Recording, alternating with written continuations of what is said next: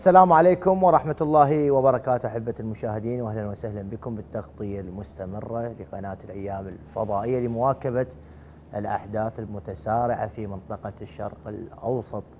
وبالتحديد الخبر الأكبر والأهم هو آه، القصف من الجمهورية الإسلامية في إيران والعملية العسكرية التي سميت اليوم الوعد الصادق الثانية التي استهدفت عمق الكيان الصهيوني بل عاصمة الكيان الصهيوني تل أبيب إضافة إلى الأخبار المفرحة اللي قاعد توصل إلى كل وكالات الأنباء حول النجاحات الكبيرة للمقاومة الإسلامية في جنوب لبنان حزب الله بإيقاف تقدم القوات الصهيونية. بل الإيقاع بهم بكمائن كبيرة ومهمة جدا أثرت اليوم حتى على تقدمهم على آلياتهم العسكرية. بل وصل وصل الموضوع إلى العشرات بين مصاب وقتيل بقوات العدو. طبعا احبه المشاهدين راح نناقش كل هذا مع ضيوفنا الأكارم بالاستوديو الدكتور حيدر الأستاذ الدكتور حيدر البرزنشي الباحث بالشان السياسي. أهلا وسهلا بك دكتور. وننتظر الأستاذ علي شكر من لبنان الباحث بالشأن السياسي. أبدأ اليوم تغطيتنا مع الدكتور حيدر. آه، دكتور آه، يعني نريد تعريف كباحث سياسي على العملية عملية الوعد الصادق الثانية التي قامت بها الجمهورية الإسلامية، هل نصنفها بأبجديات السياسة على أنها عملية ردع من النوع الممتاز. نعم بسم الله الرحمن الرحيم. تحية طيبة لجنابك ولمتابعي قناتكم ولضيفكم الكريم. طبعا نعزي كادر القناة ونعزي مراجعنا العظام وقادة محور المقاومة وجمهوره وبيئته بارتقاء السيد حسن نصر الله رضوان الله تعالى عليه شهيدا مخضبا بدمه عزة وكرامة ودفاعا عن أهله وعن كرامته وعن عزته وعن بلده وعن القضية الفلسطينية بصورة عامة. والرجل أربعون عاما وأكثر في الجهاد. معروف تاريخ سماحة السيد حسن نصر الله والذي يفتخر به الأعداء قبل الأصدقاء. بالضبط. يعني هناك شهادات عديدة بشهامة وكرامة ومنعت هذا الرجل من كل الذي طرح أخيرا قبل شهادته عرضت عليه الدنيا بما يريد. كل شيء ممكن أن نعطيك فقط أوقفوا الدعم للمقاومة الفلسطينية والضربات أو الرشقات الصاروخية التي تنطلق من جنوب لبنان باتجاه الجليل الأعلى ولكن كل هذه العروض رفضت. طبعا عربية وأمريكية بوساطات من خلال وسطاء حتى الكيان الصهيوني. إذا عندك معلومات شنو مثلا أحد العروض؟ يعني ممكن أن نعيد بناء لبنان بالأجمع كلها والحصار الاقتصادي والبنوك والأضرار التي حصلت. يدفعوها من عام 2006 مو من هسه يعني. أها بأثر إيه، رجعي. بأثر رجعي. نعم. وكل شيء. كل ما تريدونه. يعني كل شيء متاح ومباح للحزب والحزب يكون له يد الطولى بلبنان وتسوية الملفات مع أو الخلافات السياسية ولكم ما تريدون. ولكن هناك يعني الأمر مختلف على أن يصبح أو تكون لبنان داجن وتفقد كرامتها وعزتها وتكون عبدا قن بيد الأمريكان ومحور الشر هذا ما ممكن. نعم. الأمر الآخر قضية سياسة الصدع والردع أو القوة النارية التي آه، تم الرد من خلال الجمهورية الإسلامية كانت آه، بصراحة آه، لديها قطعت وعدا وأعطت عهدا بالرد على حادثة الاغتيال الإجرامية من قبل الكيان الصهيوني التي حصلت في طهران وذهب نتيجة هذا الحادث ارتقاء الشهيد إسماعيل هنية الموضوع لماذا تأخر الرد أولا؟ وكيف كان الرد ثانيا؟ ولماذا البعض يتحدث عن أنه هل إيران تخلت عن حزب الله وعن المقاومة؟ نعم. وهذه البروباغندا ظهرت هذه الأصوات.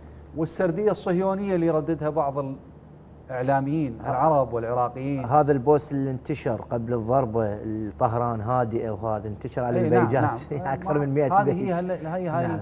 صناعة المحتوى آه، الصهيوني نعم. أو الاعلامي الصهيوني الناطق باللغة العربية أو الناطق باللغة العبرية للأسف الشديد لكن بلسان عربي هذه آه، كلها كانت بيجات وصفحات ممولة ومعروفة أصبحت. معروفة ومكشوفة مو الآن في كل فتنة وفي كل محنة غايتها التسقيط غايتها سلب الوعي آه، بث روح الإحباط بين أبناء بيئة المقاومة الاستهزاء طبعا بالنتيجة آه، المنسوب الوعي لدى الأمة عالي بالضبط. عرفت بعد أكثر من ثمانية عقود من الصراع بين طبعا هم سموه الصراع العربي، لا أنا أقول الصراع الإسلامي، صراع الحق مع الباطل مع القضية الفلسطينية تجاه الكيان الصهيوني. نعم كل هذه المعطيات نضعها أمام الناس بواقعية وبموضوعية.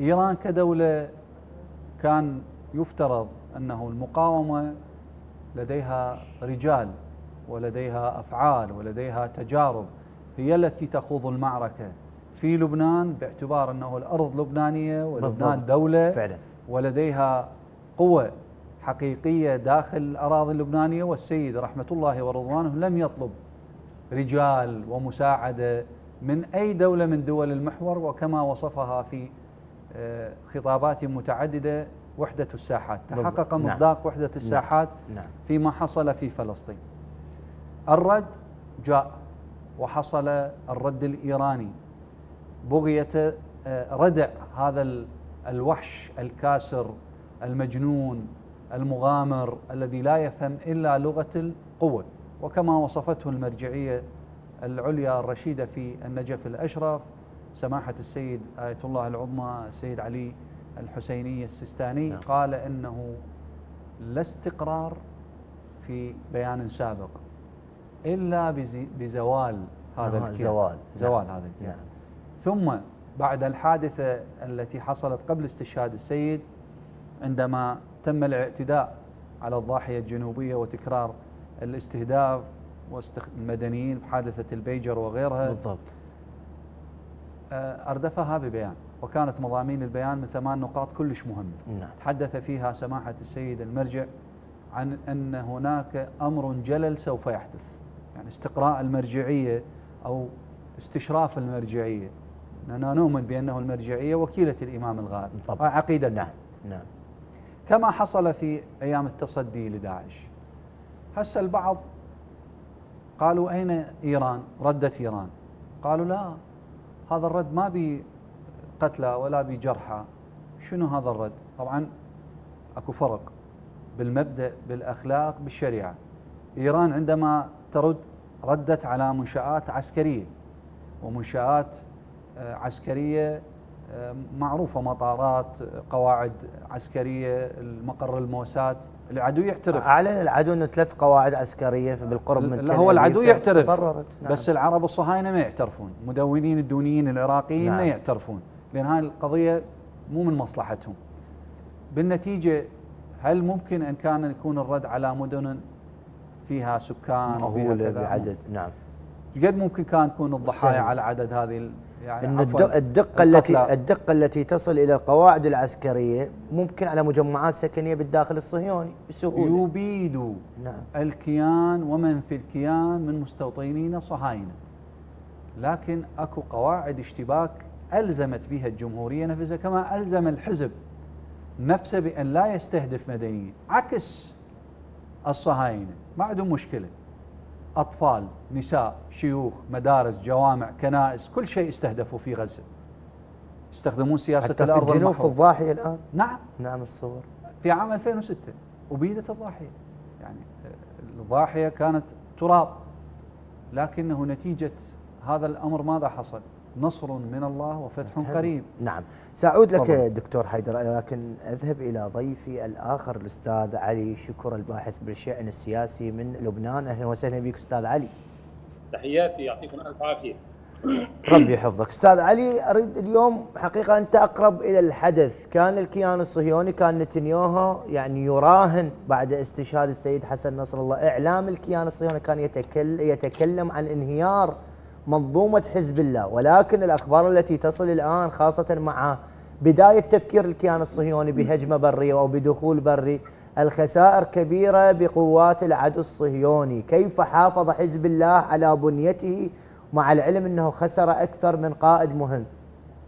نعم. آه، بداية تحية لك ولضيوفك وجميع المشاهدين.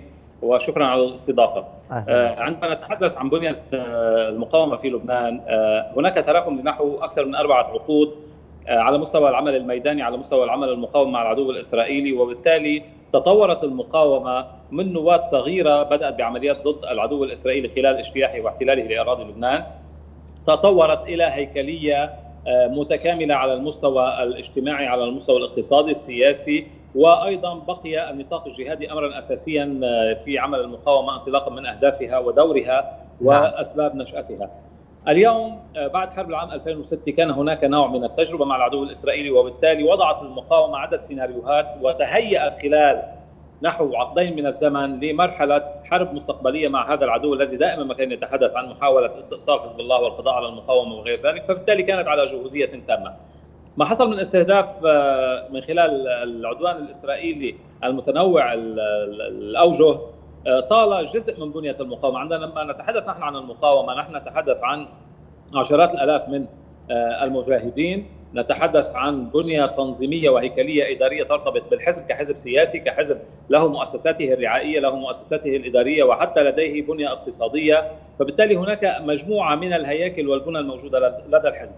على مستوى البنية الجهادية البنية القتالية كان هناك توزيع على خمس مجموعات عمليا آه، لخمس نطاقات جغرافية اثنان نعم. منهما في منطقة الجنوب آه، في مقابل الشريط الحدودي المحتل منطقة عميقة ومنطقة آه، مواجهة بشكل مباشر وهناك منطقة بقاع منطقة بيروت ومنطقة في الجنوب متأخرة نسبيا.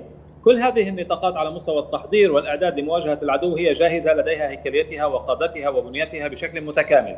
هناك نطاقات أخرى تتعلق بانواع أخرى من استخدام يعني هذا نتحدث عن المواجهة المباشرة بالأسلحة البسيطة، هناك آه، بنية متكاملة وموجودة لدى المقاومة، هذه البنية عمليا لم تتأثر بكل هذا العدوان الذي تعرضت له. ما تأثر هو مجالات أخرى بمعنى القطاع المرتبط بتصنيع المسيرات ربما القطاع المرتبط آه، بأوامر القيادة أو القيادة المرتبطة بإعطاء الأوامر لوجستيا لبعض أنواع الأسلحة وأيضا القيادة الأساسية المتمثلة بالأمين العام الشهيد السيد حسن نصر الله. بالضبط.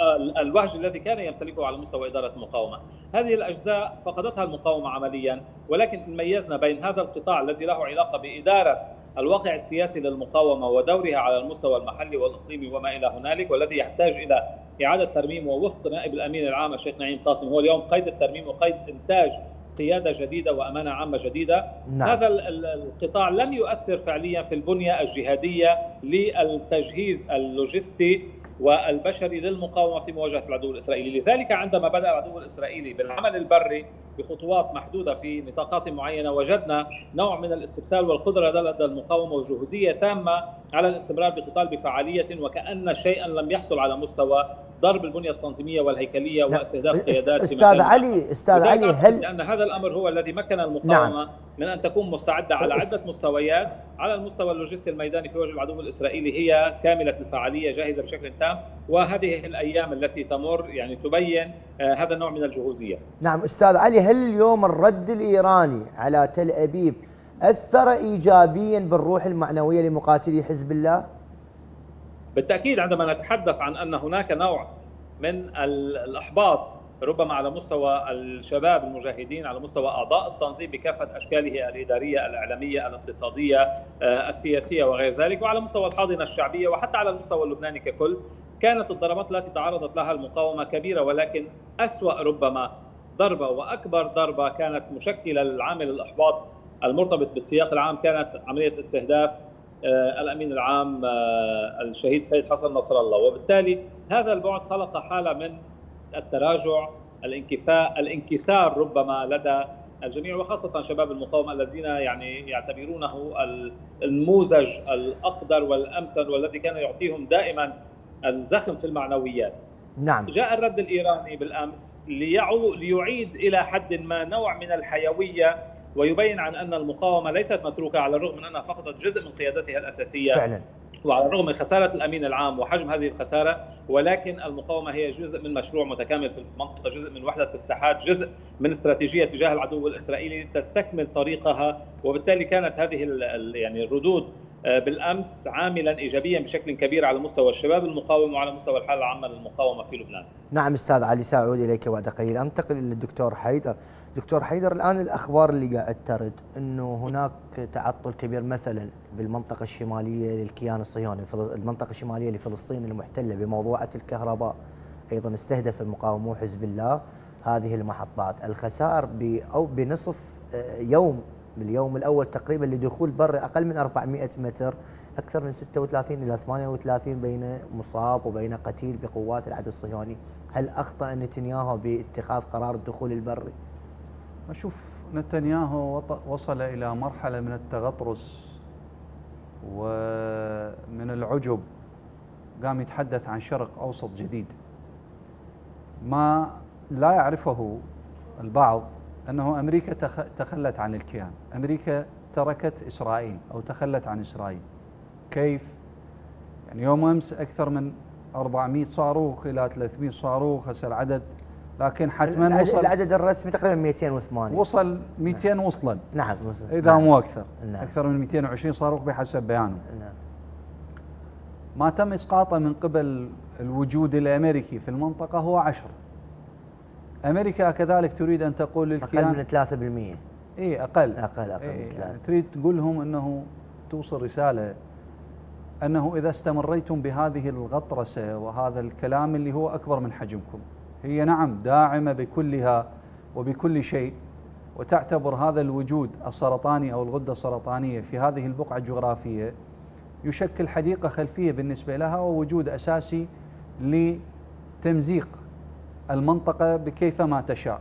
وفق سيناريوهات معدة داعش غيره قاعدة كذا اقتتال إعادة خارطة المنطقة شرق أوسط جديد كل هذه السيناريوهات اللي كلها أجهضت بفضل وببركة المقاومة.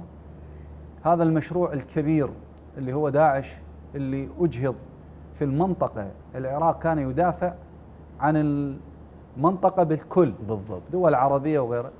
نتيجة إحباط هذا المخطط الخبيث اللي مشترك الكيان ومجموعة الولايات المتحدة وغيرها من دول بعض الدول الأوروبية. كانت نتيجته استهداف قائدين عظيمين هما الحاج أبو مهدي المهندس والحاج قاسم سليمان. رحمهم الله. اليوم رضوان الله تعالى عليهم. اليوم آه، استهداف الشهيد القائد آه، السيد حسن نصر الله ورفقائه من القيادة هو لإجهاض مشروع المقاومة في هذه البقعة الجغرافية ومحاولة فصل الساحة فصل الساحات. أه. عن بعضها البعض. يعني عزل لبنان عن سوريا. ولذلك شفنا يوم قبل يوم أمس كان أكو استهداف لسوريا. صحيح في في منطقة المز المز نعم.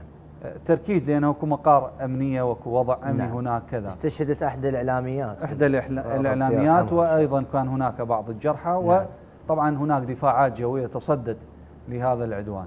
محاولة فصل الساحات حتى من ضمنها إيقاف الرحلات من العراق باتجاه لبنان رغم وجود طبعا وهذه نقطة مهمة أريد أن أبينها وأناشد الحكومة العراقية بأن آه، بعض الجالية العراقية ما زالوا متواجدين في لبنان وضرورة أن يتم آه، إخلاء الجالية العراقية وبعض الأخوة اللبنانيين ما, ما أريد أبتعد عن الموضوع، هل هدد الطيران العراقي فعلا؟ يقال إنه هدد بالمسيرات لكنه مسموح لشركة ميداليست أن أن تنزل في أربيل، يعني هناك ما زالت الرحلات. ميه. شركة ميداليست هي شركة لبنانية. نعم. طيران لبناني. مسموح له أن ينزل وين؟ في فقط أربيل. في أربيل. ليش ما يجي لبغداد؟ شنو السبب؟ وهاي شوف ناس لازمه سرة على الرحلات. هاي جزئية مهمة كنت يعني هذا قرار صهيوني؟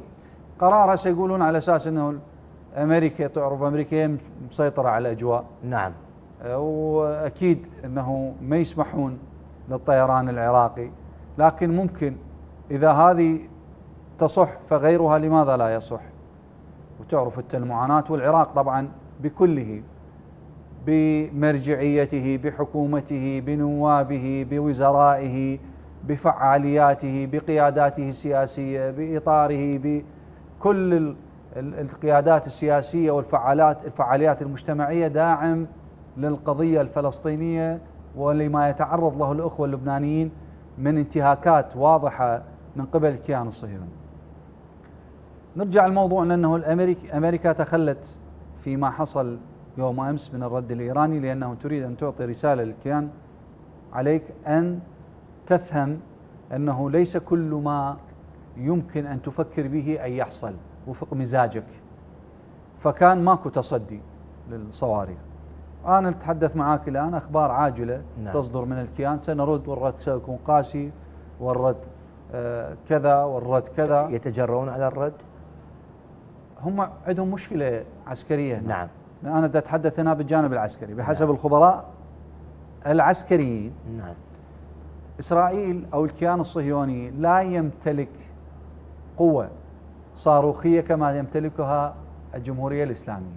يعني ما عندها صاروخ يوصل 2000 كيلو متر أو 1500 كيلو متر يتكلم بأنه سأرد ما هو طريقة الرد؟ هو الرد بالاغتيالات مثلا؟ رد بطريقتين. إما أن يكون من خلال الطيران وهذا الطيران لازم يدخل للأجواء.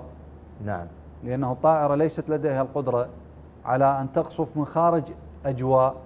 الجمهورية الإسلامية، يعني وين تروح؟ لو توقف على العراق، لو تروح على بيا مكان لو بال على العراق. هي ماكو غيره. فإحنا ما نسمح بهذا الشيء. قطعا. الأجواء مالتنا إحنا بيدينا لو لا الولايات الأمريكان كنت تسمح.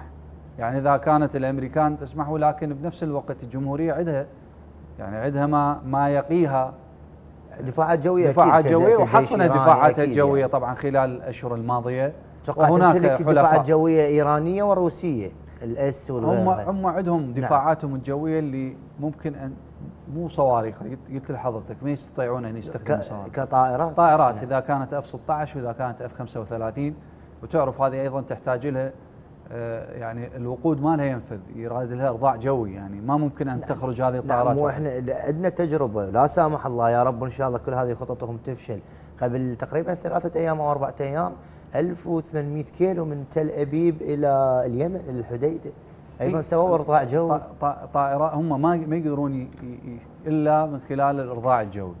وتعرف ذاك بحر هذا يختلف. هذا أكو تهديدات أكو تهديدات أرضية. محور. فيجب أن يدخلوا الأجواء. ثم بدخولهم الأجواء لا يعني هذا سيناريو هو يعني نعم. مفترض. يجوز من كرماشان يريد يضربون فد. منطقة معينة يعني يجوز مثلا يضربون طهران أو بقية المدن المجاورة لازم يدخل 150 كيلو. حتى يستطيع أن يستهدف منشآت عسكرية أو منشآت حيوية وبالتالي الجمهورية أعلنت أنها ستمحو الكيان إذا فكر في الرد. فهم الآن شفنا البارحة نتنياهو يرجف. يرتجف. إيه. خوفا ورعبا.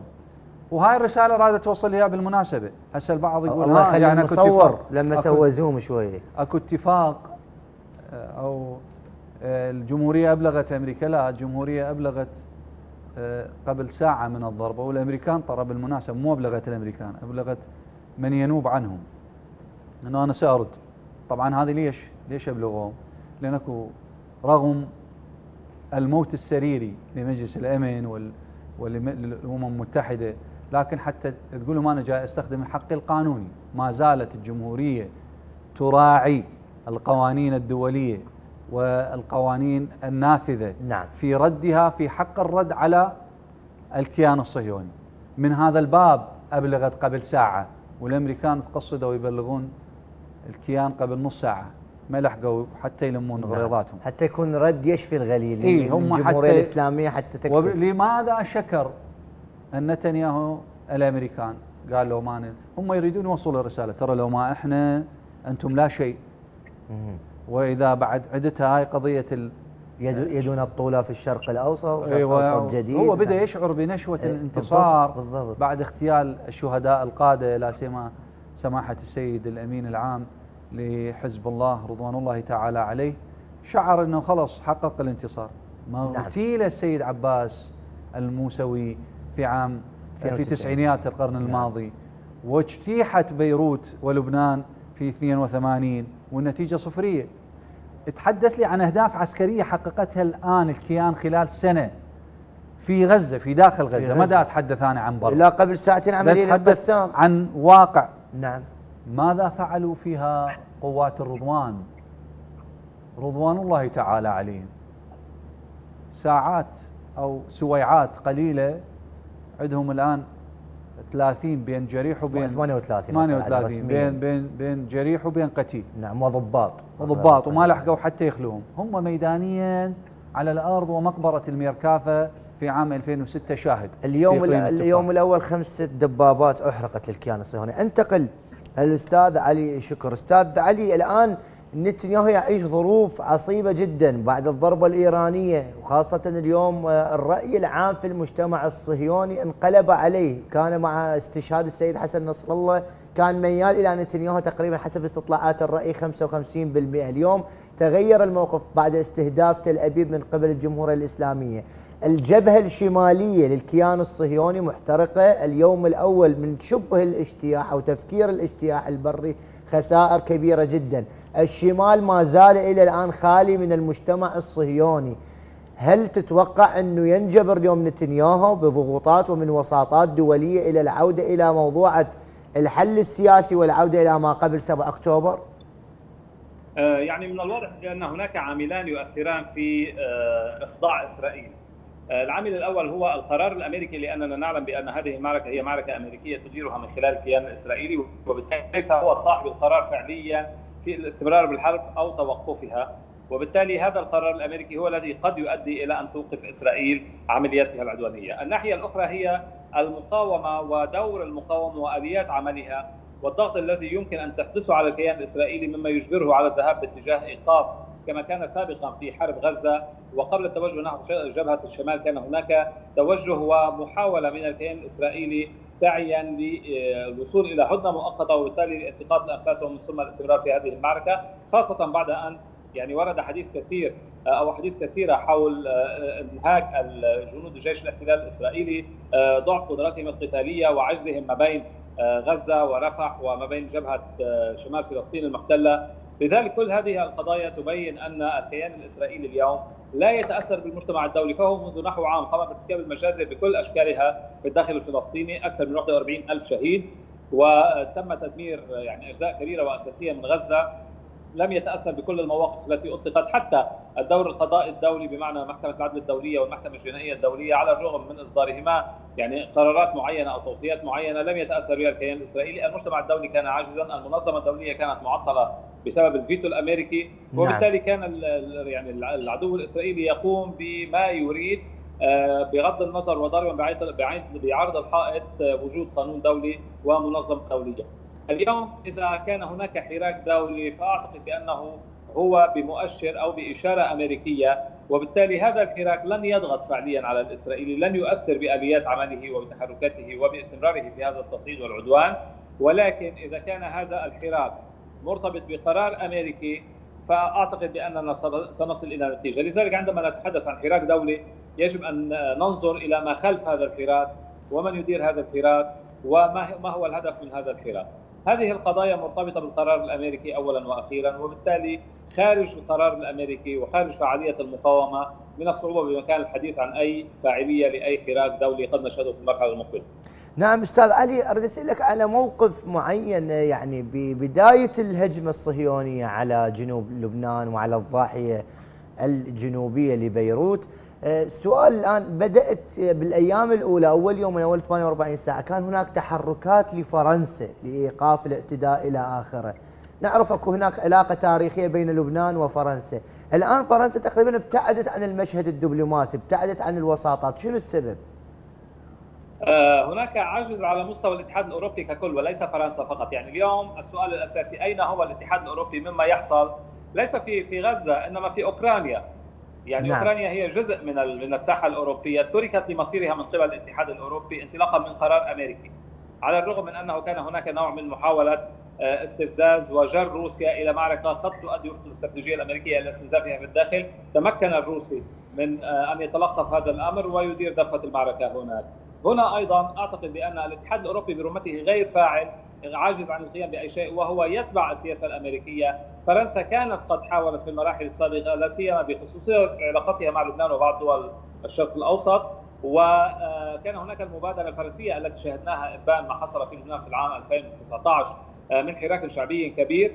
ولكن تلك المبادرة كانت بحد ذاتها بتفويض أمريكي، الأمريكي أعطى الفرنسي في تلك المرحلة هامشا لكي يقوم بدور ما، عندما تحرك الفرنسي وبدأ أنه قد يحدث فعالية قام الأمريكي بتعطيل كل المبادره الفرنسية وازاح الفرنسي آه، إلى الخلف، لذلك عندما نتحدث عن دور فرنسي أو عن دور أوروبي أو أي ادوار أخرى، هذه الأدوار هي غير موجودة فعليا في الساحة الدولية بسبب الضعف الأوروبي وبسبب الالتحاق الأوروبي الكامل على مستوى الاتحاد وعلى مستوى الدول المنفردة بالقرار الأمريكي. والاكيد والدليل على ذلك بأننا في المرحلة السابقة ألمانيا بالتحديد وهي رافعه الاتحاد الأوروبي اقتصاديا وبالتالي الداعمه سياسيا لأي مسيرة للاتحاد الأوروبي. عندما كانت ميركل رئيسة وزراء أو المستشارة الألمانية نعم. آه، كانت ذات حيثية موجودة كانت تأخذ قرارات تخالف أحيانا الإرادة الأمريكية وكانت أعطت نوع من الهامش والحيثية لوجود الاتحاد الأوروبي أو على الأقل لألمانيا بشكل منفصل في الساحة العالمية اليوم ألمانيا أصبحت ملحقة كليا بالإدارة الأمريكية نعم. باقي الدول الأوروبية ضعيفة وبالتالي هذا المشهد يعبر عن أن هناك نوع من العجز الأوروبي والالتحاق بالركب الأمريكي وبالتالي ليس لأوروبا قرار فاعل لا على مستوى الحروب ولا على مستوى الدبلوماسية في المشهد الدولي نعم. إلا حينما تقرر الإدارة الأمريكية أن تعطي الأوروبيين سواء على مستوى جماعي من خلال الاتحاد ودور المفوضية وغيره أو مع من خلال المستوى الفردي كما يحصل مع فرنسا الآن وربما يحصل مع غيرها من الدول في المراحل التالية. نعم أستاذ علي. أعود مع الدكتور حيدر. تكلم الأستاذ علي على الاتحاد الأوروبي على الوساطات الدولية. العراق ومع بداية أو اليوم الذي استهدف به سماحة السيد حسن نصر الله رضوان الله عليه. طلب عقد اجتماع للجامعة العربية. ولكن الآن لا يوجد رد. هل العرب يعني مشغولين بموسم الرياض مثلا؟ أو شنو شنو اليوم اللي يخلي العرب؟ هل لبنان وفلسطين مو أعضاء بالجامعة العربية؟ شنو سبب هذا التأخير؟ يعني والله الحديث عن هذا الموضوع يفترض إحنا مغادرين من ثمان عقود. أتفق. ليش حكومتنا الموقرة يعني دائما طلبت هذا الاجتماع؟ الحكومة تطلب لأن أكو سياقات آه، دولية وأكو سياقات تريد أن تحرك المياه الراكدة. يعني طلب الحكومة من باب الشعور بالمسؤولية يلا يا إخواننا أهلنا. يقول على قولة عربنا نعم. بيها نار. وين الغيرة يا الأحرار؟ صم بكم كأنهم على رأسهم الطير. لا أحد يتحدث وكأنه قتل شعب آمن جريمة فيها نظر طبيعي. يعني بالتالي آه، الشعوب حية نابضة بالحياة تتحرك ليست لديها لا خوف ولا تقية ولا آه، يعني حقيقة يجبن بعضهم بعضا. عندكم خلاف مع حزب الله عندكم خلاف مع السيد حسن نصر الله. طيب ما هذه لبنان تباد كما أبيدت غزة. اللي ما حركتها غزة واللي ما اهتز لغزة لن يحركه ما يحصل في لبنان ولن يحركه ما يحصل في جميع الأوطان العربية المسلمة التي تدافع عن أرضها وعن كرامتها وعن سيادتها. أنا أسألك أو سؤال عام هل اعتدى حزب الله على حدود أخرى؟ هل تجاوز على أي دولة أخرى؟ لا.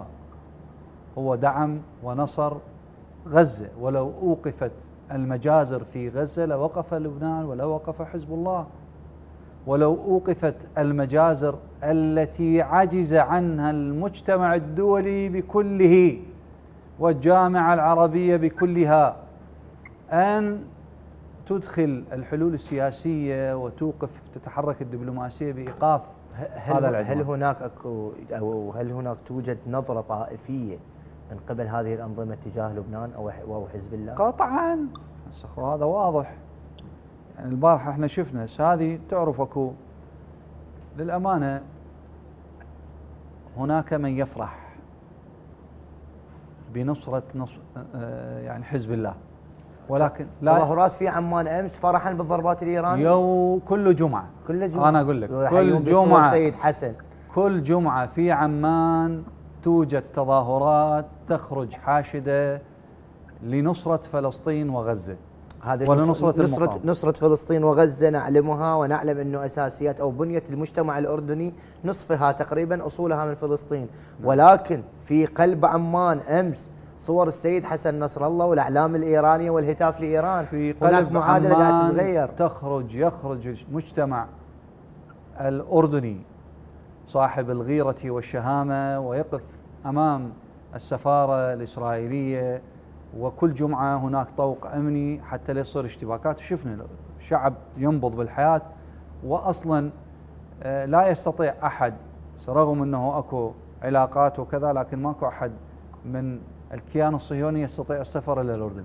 يقطع إربا يعني ما حد يقدر يوصل. يعني أستاذ حيدر أحد الفيديوهات التي انتشرت بموقع التواصل بيوم إعلان حزب الله استشهاد السيد حسن نصر الله. أحد الأردنيين كان حامل صورة السيد حسن نصر الله وأحد رجال الأمن الدرك الأردن كما يسمى. قال قال له انزل صورة هذا الصفوي. قال له الصفوي أحسن من الصهيوني. يعني بهذه الطريقة. شوف هي يعني آه، أكو موضوع خارج اعتبارات القانونية وخارج الأعراف الدبلوماسية. وليش؟ لأنه تجد أن هناك رمز مقاومة وقائد للمقاومة شيعي المذهب حسيني الأصول مقدام همام يناصر المستضعفين من إخوانه مسلمين وغير المسلمين. هو فلسطين مو بس مسلمين بها نعم. بها مسيحيين وبها يهود غير. متصاهينين. نعم. لبنان كذلك. لبنان أيضا. القضية أبعد هكذا يريدها الصهيوني أن يجعل المجتمعات كاتونات مبنية على المذاهب والطوائف والأديان حتى يلعب على قضية التفريق والسيادة. وهذا معروف فرق نعم. تسد. نعم. لكن دماء الشهداء وحدت الشعوب. اليوم ما عاد أحد يحكي موضوعة أنه سيد حسن نصر الله سني أو شيعي أو فلان كذا أو كذا. لا هناك هم أكبر هناك قدس هناك فلسطين هناك غزة. هذا الشعور الوجداني والإنساني والإسلامي الذي وحد أبناء المجتمعات مجتمعات محور المقاومة. وكذلك النسيج السياسي في العراق. ما شفنا إلا الدونيين إلا هؤلاء مشكلة. أبناء الصهاينة. نعم. واللي أغلبهم مو بالعراق أغلبهم عايشين برا. إيه. النائب السابق أبو لندن. هذا ما يستحق ذكر يعني حقيقة ما يستحق إيه ذكر. تدري ليش؟ نعم. لأنه هناك سقوط. يعني الإنسان عندما يسقط من شاهق من من جبل عالي يسمى سقوط من شاهق. وهناك من يسقط في الدرك الأسفل. من يقبض أموال بمبالغ بخسة 150 ألف دولار يستلمها في أحد الدول المجاورة مقابل أن يدعم الصهيونية ويروج لها لا قيمة له. أخزاه الله في الدنيا والآخر هو ومجموعة من هو, هو يشارك تغريدة لايدي كوهين وإيدي كوهين يشارك تغريدة. تدري ليش؟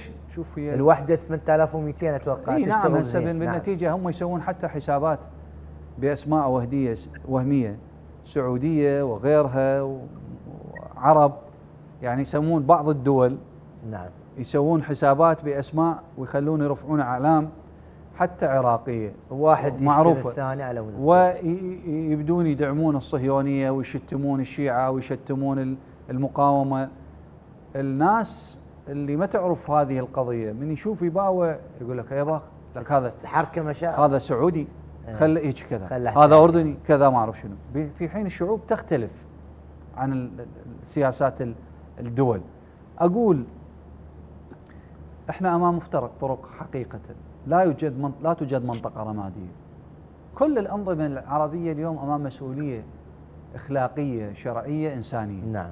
وبالتالي العراق كموقف هو الأكبر والأهم موقف عربي ودولي ما عدا الجمهوريه الإسلامية وبعض الدول الأخرى. يعني لو نتكلم بحقيقة بواقع بواقعية. أيضا مثلا الجزائر لديها موقف لها موقف كبير. نعم تونس. تونس كذلك نعم. بعض الدول العربية الأخرى يعني حتى دول أفريقية. اليمن أكيد ما ننسى هذا لا اليمن لا إحنا شوف دول محور نعم المقاومة. بعدناها وقلنا باستثناء دول محور نعم المقاومة. نعم. اليمن الغراء. إيه. اليمن لها الحب والانتماء أصل العرب. هذه هي البيئة الاجتماعية بالضبط العربية الحقيقية. بالضبط نعم. اللي أعطوا كل شيء وفق مفاهيم قرآنية ولغتهم ومنطقهم وحجتهم ودفاعهم وصبرهم منطلقا من القرآن الكريم.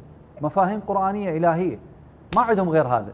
نعم. ما يحسب ربح وخسارة. جيد. إذا أنا ضربت إسرائيل شنو راح أخسر؟ وشنو راح أربح؟ نعم. أكو دول هي عايشة على الكيان. يعني معوناتها أموالها تمويلها. إذا قطع عنها الكيان يتصور يقول لك أنا أموت من الجوع وأنا ما مضطر. يعني يعني يعني مثلا الإمارات تحتاج اموال كيان؟ أو لا شوف العربية السعودية تحتاج أنا قبل كيان. سمعت يعني قبل كنت أوصف هناك كيانات وظيفية تعمل خدمة للمشروع الصهيو امريكي في المنطقة.